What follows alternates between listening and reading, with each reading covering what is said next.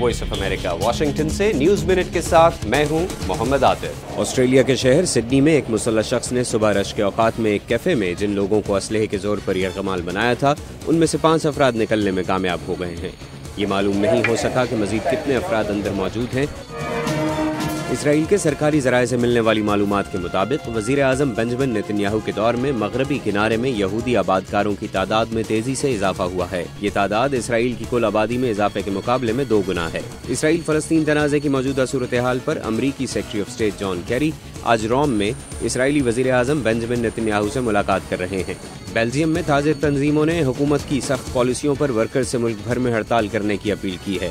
ہڑتال کا آغاز اتوار کو ایئرپورٹس اور ٹرین اسٹیشنوں سے ہوا تھا۔ اور چین میں پانڈا کے ایک ساتھ پیدا ہونے والے تین بچوں کو ان کی ماں سے ملا دیا گیا ہے۔ دو نر اور ایک مادہ اب ایک سو چونتیس دن کے ہو چکے ہیں۔